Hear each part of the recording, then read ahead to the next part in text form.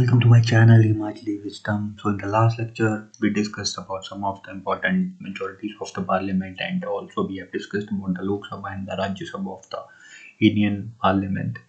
और मैंने कुछ important articles का वीडियो भी अपलोड किया हुआ है अगर आपको वो वीडियो देखना है तो I will give you the link on the I button you can click on the I button and go go and watch my videos और आज हम पढ़ेंगे फंडामेंटल राइट्स के बारे में तो फंडामेंटल राइट्स में कुछ इंपॉर्टेंट आर्टिकल्स हैं और इसमें हम कुछ आर्टिकल्स के साथ साथ जो जो भी हमारी फंडामेंटल राइट्स हैं, उसको भी कवर कर लेंगे। And you would like to watch my history lectures and the English lectures and the other Himachal G K lecture then you can subscribe to my channel and like my channel for the upcoming and the latest journal knowledge videos. So, let's roll the video.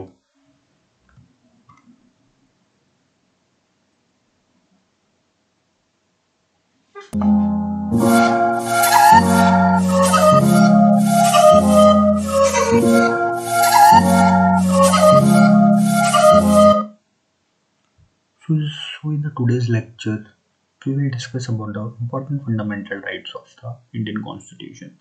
तो Indian constitution में mainly जब हमारा constitution बना था जब भी हमारा Indian constitution power में आया था तो हमारे पास सात फंडामेंटल राइट्स थी लेकिन एट प्रेजेंट क्या है हमारे पास only we have left with six fundamental rights जो एक फंडामेंटल राइट्स है राइट टू प्रॉपर्टी उसको अबॉलिश कर कर दिया गया है और अब हमारे पास ओनली सिक्स फंडामेंटल राइट्स हैं।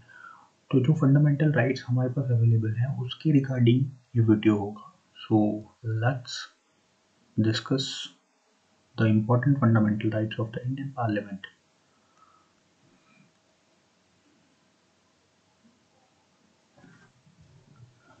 सबसे पहला जो फंडामेंटल राइट हमारे पास आता है, वो आता है राइट टू इक्वालिटी तो राइट राइट टू इक्वालिटी जो होता है, वो आर्टिकल नंबर 14 से लेकर आर्टिकल नंबर 18 तक डिस्टिंग्विश किया गया है हमारे कॉन्स्टिट्यूशन में। तो हम इस राइट के अंडर जो आर्टिकल्स पढ़ेंगे, उनको देख लेते हैं। तो सबसे पहले हमारे पास आते हैं, आता है आर्टिकल नंबर 14 तो जो आर्टिकल नंबर 14 है, हमारे फंडामेंटल राइट्स का, हमारे कॉन्स्टिट्यूशन का, वो हमें प्रोटेक्शन देता है। इक्वलिटी की। दैट इज़ कानून के समान जो होता है आर्टिकल नंबर 14 के अकॉर्डिंग कानून सबके लिए एक जैसा होता है। एक जैसी सज़ा के लिए एक जैसा प्रावधान बनाया गया है। किसी के साथ पार्शलिटी नहीं की जाती। According to the human right for all the human being whether it is it is the foreigner of the other country अगर वो इंडिया में रिजाइड करता है तो। उसके बाद हम देखते हैं आर्टिकल 15 के बारे में। सो so, जो आर्टिकल नंबर 15 है वो भी राइट राइट टू इक्वलिटी के बारे में बताता है। कैसे? कि हमें कास्ट के बेसिस पे किसी के साथ डिस्क्रिमिनेशन नहीं करना है। तो कास्ट का डिस्क्रिमिनेशन जो है वो पूरी तरह से बैंड है इंडिया में। तो article number 15 will tell us about the prohibition of the discrimination on the caste on the basis of the caste. Now we will look upon the article number 16 article number 16 हमें equal opportunity प्रदान करता है। हम हर चीज़ में equal रूप से, समान रूप से पार्टिसिपेट कर सकते हैं। इसमें भी कोई भेदभाव नहीं किया जाना चाहिए। ये हमारा कॉन्स्टिट्यूशन मेंशन करता है कि कोई भी इंसान किसी भी जॉब के लिए, किसी भी कार्य को करने के लिए निपुण है और उसको इक्वल अपॉर्चुनिटी प्रदान की जानी चाहिए। तो this is all about article number 16 उसके बाद we have left with article number 17 article number 17 जो है, वो छुआछूत को के प्रति बैन लगाता है तो वायलेशन ऑफ़ द अनटचेबिलिटी किसी के साथ भी कास्ट के बेसिस पे, उसके रंग के बेसिस पे, उसकी लैंग्वेज के बेसिस पे छुआछूत या पक्षपात नहीं किया जा सकता। Now we have last articles of the right to equality. That's article number 18 जो आर्टिकल नंबर 18 है 18 है, वो टाइटल को लगाने के लिए अबॉयलेशन प्रदान करता है। इट मीन्स दैट अगर कोई सिविलियन है and he is not a part of the Indian army, I am giving you a counter example. If there is one civilian and if he is not the part of the army, suppose this is an army and he is a civilian, but there is a, another civilian who is a part of the army. For example, he is a major, but this civilian is not a major, so he is not the part of the army, so he is totally prohibited to use the title of the major तो civilian को major का title लगाने का कोई भी अधिकार नहीं है। तो बिना किसी डेजिग्नेशन के कोई भी सिविलियन अपने नाम के आगे कोई भी टाइटल नहीं लगा सकता। कब कब, तब तक, जब तक कि वो किसी मिलिटरी के रैंक पे डेजिग्नेटेड नहीं है या फिर वो किसी अकेडमिक या फिर किसी एडमिनिस्ट्रेटिव सर्विसेज़ से नहीं जुड़ा है। फॉर एग्ज़ाम्पल अगर कोई पीएचडी होल्डर है तो वो डॉक्टर की उपाधि को अपने नाम के आगे लगा सकता है। बट अगर कोई सिंपल ग्रेजुएट है ग्रेजुएट है तो अपने नाम के आगे वो डॉक्टर की उपाधि नहीं लगा सकता अनलेस और until he got the degree of the PhD so this is all about the article number 18 and with this, we have finished the right to equality. So this is the part first of the our right so right to equality is the first right of our our constitution so let's move to the next one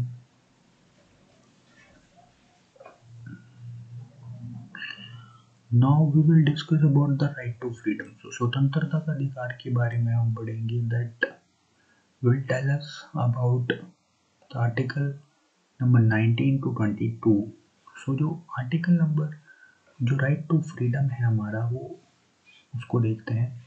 सबसे पहला article आता है article 19 article 19 जो है, वो हमें बोलने का अधिकार, स्वतंत्र रूप से सोशल गैदरिंग का अधिकार, स्वतंत्र रूप से पीसफुल प्रोटेस्ट करने का अधिकार, स्वतंत्र रूप से बिज़नेस करने का अधिकार, स्वतंत्र रूप से, कहीं भी देश के किसी भी कोने में बसने का अधिकार स्वतंत्र रूप से आर्टिकल नंबर 19 हमको प्रदान करता है। इसके बाद हम पढ़ते हैं आर्टिकल नंबर 20 के बारे में। आर्टिकल नंबर जो 20 है, वो हमें राइट टू प्रोटेक्शन प्रदान करता है। कानून से या फिर किसी से भी। फॉर एग्ज़ाम्पल किसी भी सिविलियन को बिना किसी गुनाह के कन्विक्शन नहीं दी जा सकती, उसको जो सज़ा नहीं दी जा सकती। Until or unless he will he violated the law. जब तक वो किसी कानून को तोड़ता नहीं है और किसी भी एक जुर्म के लिए सेम आदमी को दो बार सज़ा नहीं दी जा दो बार सज़ा नहीं दी, दी नहीं दी जा सकती। किसी एक सज़ा के लिए एक टाइम पे एक आदमी के लिए एक ही सज़ा का प्रावधान है।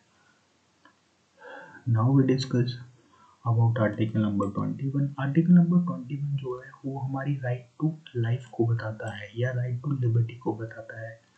हमें स्वतंत्र रूप से डिग्निटी के साथ जीने का अधिकार है। हमें हमारी प्राइवेसी को छिपाने का अधिकार है।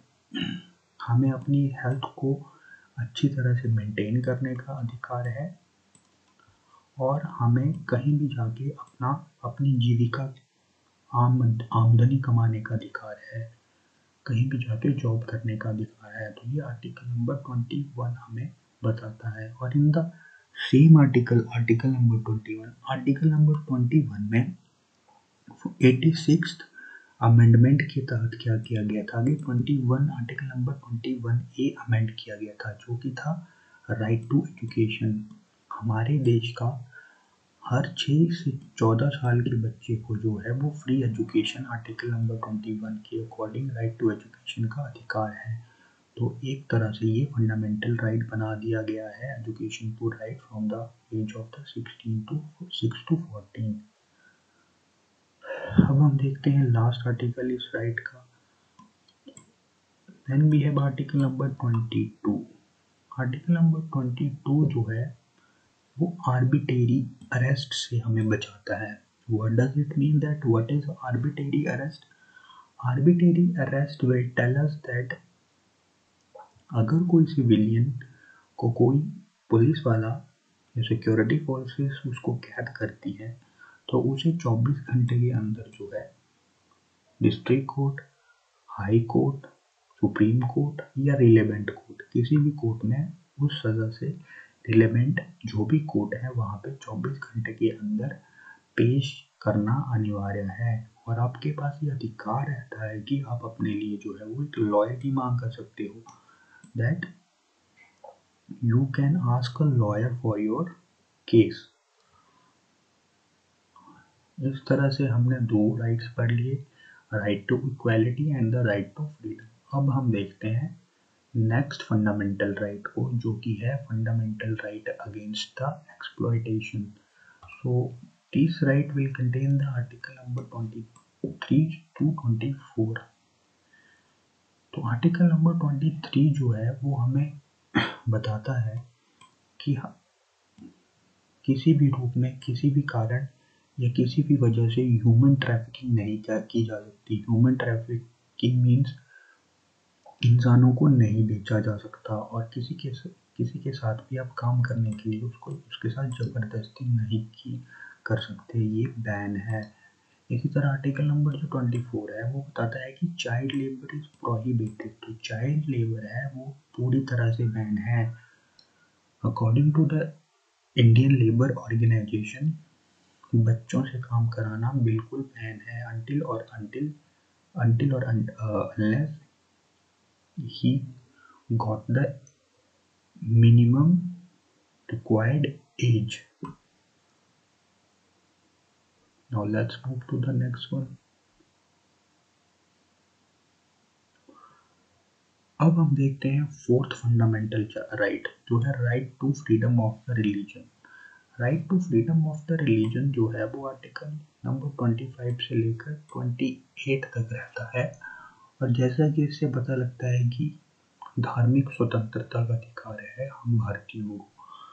तो इसमें आता है, सबसे पहले आर्टिकल नंबर 25 जो कि बताता है कि इंडिया में कोई भी व्यक्ति किसी भी समय, किसी भी स्थान पर किसी भी धर्म का पालन कर सकता है। जिस किसी धर्म को वो अपनाना चाहता है, वो उस धर्म का पालन कर सकता है और उसका अनुन्यायी बन सकता है। तो freedom of the propagation of any religion in India किसी भी वर्ल्ड के किसी भी रिलीजन का इंडिया में कोई भी इंडियन व्यक्ति जो है पालन कर सकता है। उसे उस चीज़ से कोई नहीं रोकेगा। Then we have article number 26 now, let's look, discuss about article number 26 तो article number 26 है it this will give us the power of freedom to manage the religious affair कि हम जो है, कोई भी किसी भी धर्म का व्यक्ति अपने धर्म का प्रचार करने के लिए कहीं भी कॉन्ग्रीगेशन कर सकता है, कहीं भी कोई भी रिलीजियस अफेयर को कंडक्ट कर सकता है। Then we have article number twenty seven article number twenty seven बोलता है कि किसी भी व्यक्ति के लिए किसी भी धर्म, निरपेक्ष जो रिलीजियस मंदिर हैं या संस्थान हैं, उनको टैक्स फ्री रखा जाएगा। इंडियन गवर्नमेंट उन पर कोई टैक्स नहीं लगाएगी। For example that Baba Balaknath temple in district Hamirpur of the Himachal Pradesh is excepted from any kind of the tax just because this place is a secret place and this place belongs to the Hindu religion. Same thing applies to the Jama Masjid. Same thing applies apply to the Golden Temple of the Amritsar. Same thing applies to any kind of the church or whatever the religion it is. तो ये था article number twenty seven अब हम देखते हैं article number twenty eight article number जो twenty eight है वो हमें अधिकार देता है कि किसी भी किसी भी धर्म का प्रचार करने के लिए आप अपने अकॉर्डिंग किसी भी एजुकेशनल इंस्टीट्यूट में जाकर वहाँ पे उस धर्म का प्रचार कर सकते हो। तो वहाँ पे उस चीज़ के लिए कोई मनाही नहीं है। तो article number twenty eight is freedom to attend the religious ceremony at the educational institution let's move to the next right तो अभी तक हमने चार राइट्स के बारे में पढ़ लिया है अब हम पांचवा राइट्स देखेंगे जो कि है cultural and educational right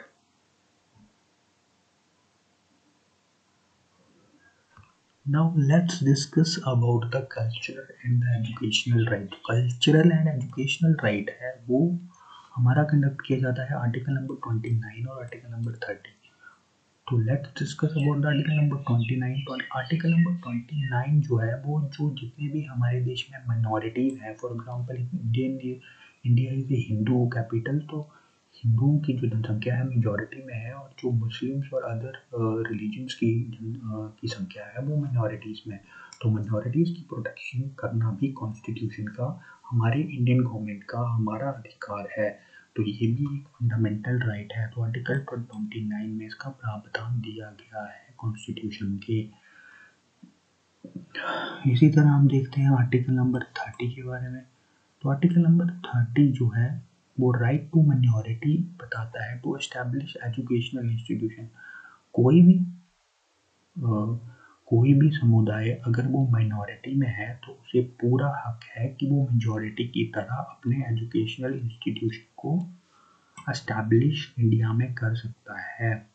चाहे वो मुस्लिम धर्म का हो, चाहे वो हिंदू धर्म का हो, चाहे वो सिख धर्म का हो, चाहे वो ईसाई धर्म का हो, चाहे वो जैन धर्म का हो, चाहे वो बुद्धिस्ट धर्म का हो तो अब इसीलिए आप देखते हो कि there is a unity in the diversity in India हमारे पास जामिया मिलिया इस्लामिया यूनिवर्सिटी है फॉर द मुस्लिम्स और for the any kind of the religious any kind of the religion in the daily similarly we have different different kinds of the state universities at the state level और और भी universities different different जो भी religion को support करती है. तो India में हर माइनॉरिटी को, हर धर्म के लोगों को इक्वल राइट्स दिए गए हैं एजुकेशनल इंस्टीट्यूट अपना स्थापित करने के लिए। So let's move to the next one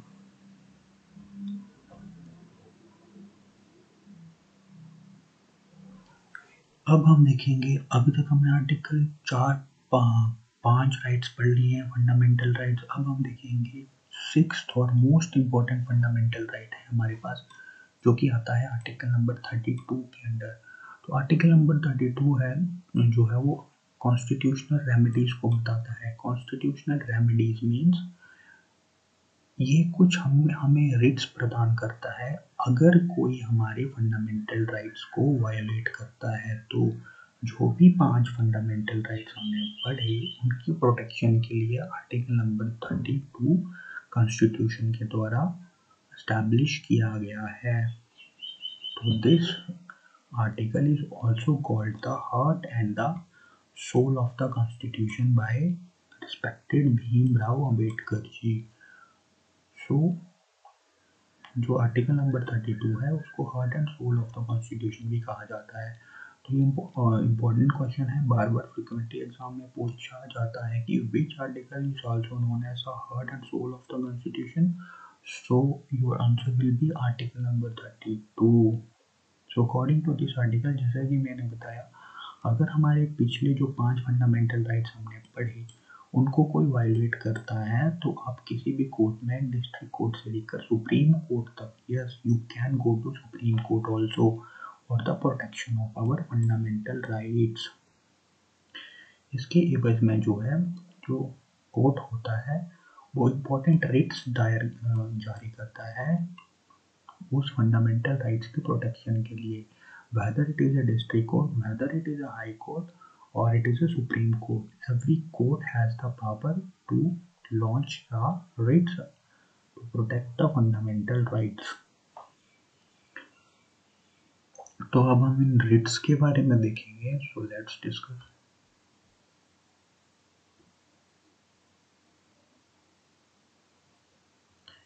अब हम देखते हैं इंपॉर्टेंट रिट्स जो आर्टिकल नंबर थर्टी टू के एवज में आती है और हमारी फंडामेंटल राइट्स को प्रोटेक्ट करती है। तो टोटल हमारे पास पाँच रिट्स एस्टैब्लिश की गई हैं कॉन्स्टिट्यूशन में।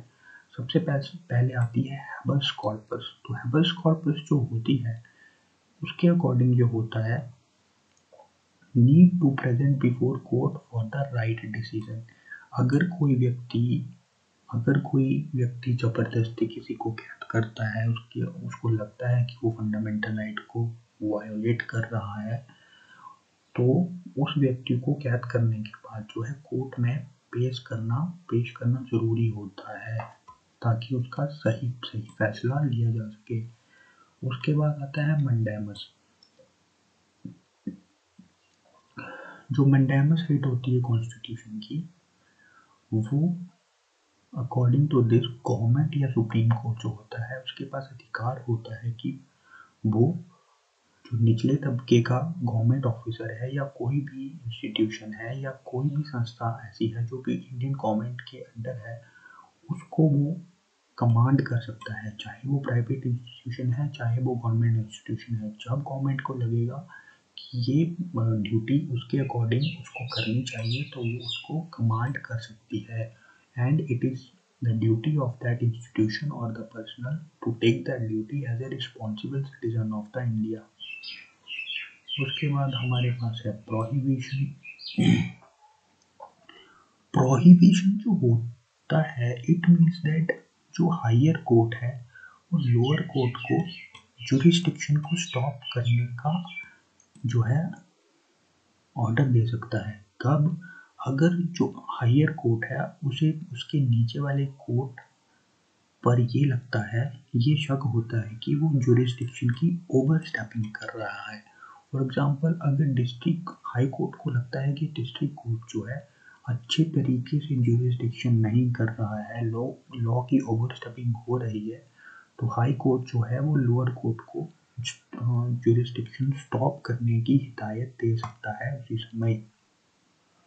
And the lower court must need to accept this as an order. उसके बाद है हमारे पास शर्शरी। तो शर्शरी भी एक तरीके से प्रोहिबिशन ही होता है हाई कोर्ट के द्वारा लोअर कोर्ट में। लेकिन इस केसेस प्रोहिबिशन के केस में जो लोअर कोर्ट है वो ओवर स्टेपिंग कर रहा होता है और शर्शरी के केस में जो लोअर कोर्ट है, उससे केस हैंड ओवर करके हायर कोर्ट अपने पास ट्रांसफ़र करा लेता है किसके लिए? स्पीडी रिकवरी के लिए, ताकि स्पीडी जस्टिस हो सके।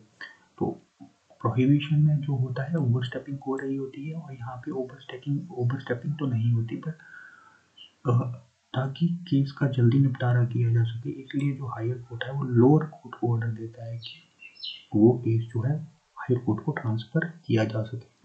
तो this is all about the certiorari no we have the let's discuss about the last writ of the article number thirty two that is quo warranto तो जो कोवरंटो है it means that by what authority person is holding a public office quo warranto बोलता है कि किस authority से, किस authority से कोई पर्सन किसी पब्लिक ऑफ़िस को होल्ड करता है? फॉर एग्जांपल कोई भी सिविलियन बिना किसी डेजिग्नेशन के, बिना किसी रोबस्ट रीजन के, किसी भी प्राइवेट ऑफ़िस या पब्लिक गवर्नमेंट ऑफ़िस को होल्ड नहीं कर सकता। अनटिल और until unless he has a valid and serving purpose और serving purpose for the nation it means that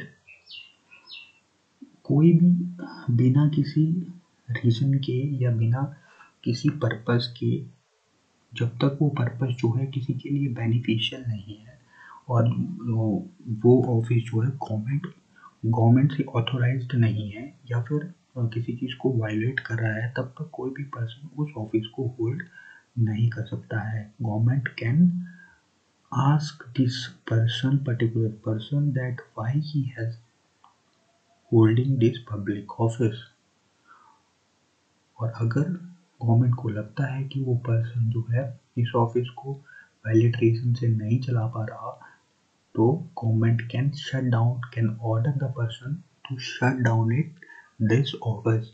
So, this is all about the covenant तो हमने यहाँ पे जितनी भी रिट्स थी आर्टिकल नंबर थर्टी टू के पेपर्स में उसको देखा और इसी के साथ हमारी छह फंडामेंटल राइट्स जो हैं यहाँ पे कवर होती हैं इसके बाद जैसा कि मैंने आपको स्टार्टिंग में बताया था कि हमारे पास स्टार्टिंग में जो था जब कॉन्स्टिट्यूशन की फॉर्मेशन हुई तो हुई थी तो हमारे पास जो फंडामेंटल राइट्स थे, वो सात फंडामेंटल राइट्स थे। लेकिन at present we have left with only six fundamental rights तो जो सातवां फंडामेंटल राइट्स था, उसके बारे में थोड़ा सा देखते हैं।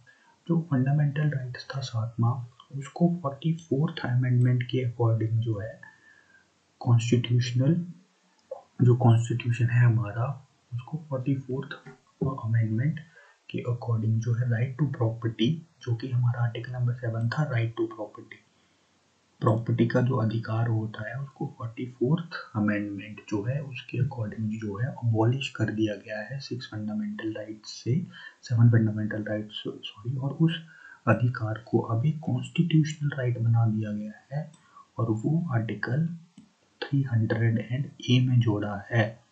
तो आर्टिकल नंबर 300 एंड ए जो है, हमारे को बताता है राइट टू प्रॉपर्टी जो कि पहले फंडामेंटल राइट था, लेकिन अब ये फंडामेंटल राइट ना रह के एक कॉन्स्टिट्यूशनल राइट बन चुका है। तो आपको रिमेंबर रखना है कि हमारे पास at present six fundamental rights हैं नॉट द सेवन जो सेवंथ फंडामेंटल राइट है this that is right to property is now a constitutional right under article 300a